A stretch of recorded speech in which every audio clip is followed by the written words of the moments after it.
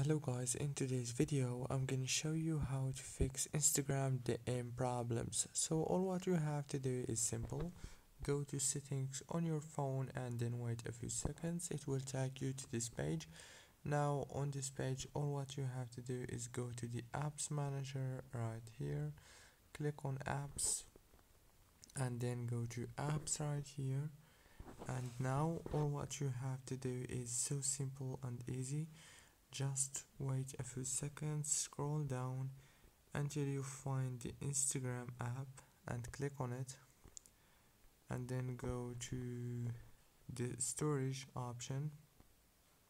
And now all what you have to do is simple.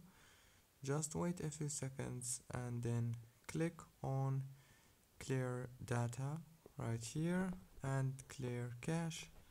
Go back click on force stop and then restart your phone and reopen Instagram.